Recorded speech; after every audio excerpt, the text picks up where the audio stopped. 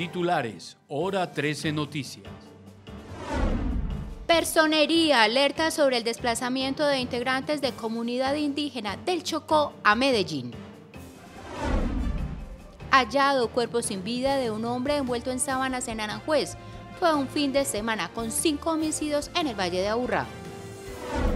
ELN acuerda no más secuestros con fines económicos.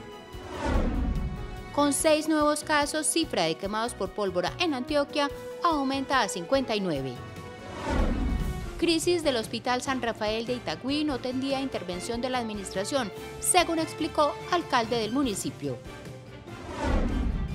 Especialistas en urología del Hospital General se unen a ultimátum para parar actividades a partir del 1 de enero. Hoy se entregó la uva de Itagüí con una inversión de más de 30 mil millones de pesos. Pruebas del hueco fiscal de 2.8 billones de pesos o que se retracte, pide alcalde encargado de Medellín al electo Federico Gutiérrez. Gerente de la FLA, director del IDEA y de la empresa de vivienda, entre los nuevos nombramientos para la gobernación de Andrés Julián Rendón. Con normalidad se realizó la repetición de votaciones para la elección del nuevo Consejo de Pueblo Rico. Cae red de tráfico internacional de estupefacientes, entre ellos los alias El Flaco y Ángel.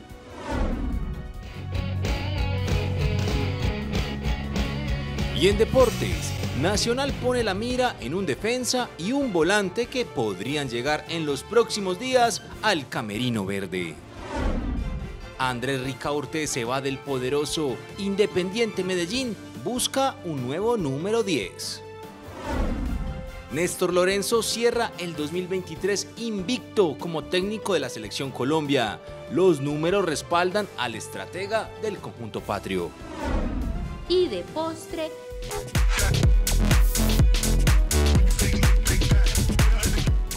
les tenemos el Distrito de Arte y Creación Plástica en el barrio Colombia y un artista paisa que retornó a su carrera musical luego de ser actriz.